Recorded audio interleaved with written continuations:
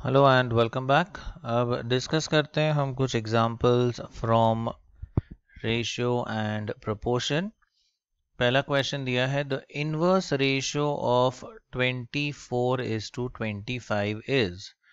तो we know that if a is to b is the given ratio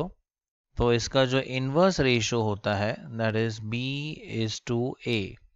तो यहाँ पे जो गिवन रेशियो है, वो है 24 four is to 25 so the inverse ratio will be 25 is to 24 तो इसका सही आंसर है option A next question the ratio of two quantities is three is to four if the antecedent is 30 then the consequent is. तो दो quantities का ratio दिया है three is to four और उसमें से एंटीसीडेंट यानी जो न्यूमरेटर है, वो हमें थर्टी दिया हुआ है। कॉन्सिक्वेंट हमें ढूंढना है। Suppose we call this as x और रेशो वैल्यू है इसका three is to four we simply cross multiply यहाँ से हमें एक्स की वैल्यू मिल जाएगी। As thirty into four divide by three and that is equal to 40 तो इसका सही आंसर है ऑप्शन डी नेक्स्ट क्वेश्चन देखते हैं हम. The ratio of two quantities is six is to five if the consequent of its inverse ratio is 12 then the antecedent is. तो original ratio है 6 is to 5 इसका हम inverse ratio लेते हैं। Let us calculate the inverse ratio तो inverse ratio इसका हो जाएगा five is to six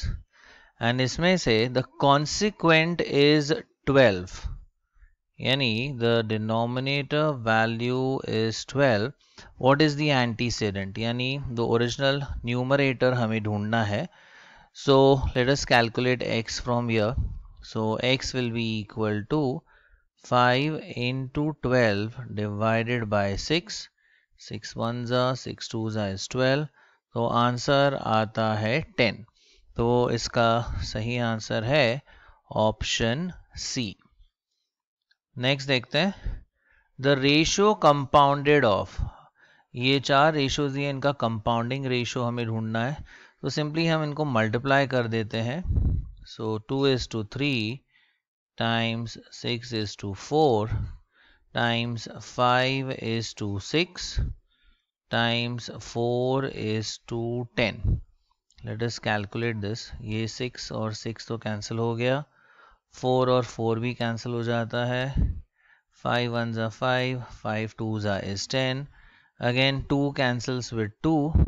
तो न्यूमरेटर में रह जाता है वन एंड डिनोमिनेटर में रहता है थ्री तो इसका जो आंसर है, वो है one is to three so it is option A let us look at the next question अब नेक्स्ट क्वेश्चन दिया है the duplicate ratio of root three is to three now we know that if a is to b is the given ratio तो इसका duplicate ratio हम ढूंढते हैं by squaring both the terms यानी a square is to b square अब यहाँ हमें ratio दिया है root three is to three तो इसका डुप्लीकेट रेशियो होगा root three square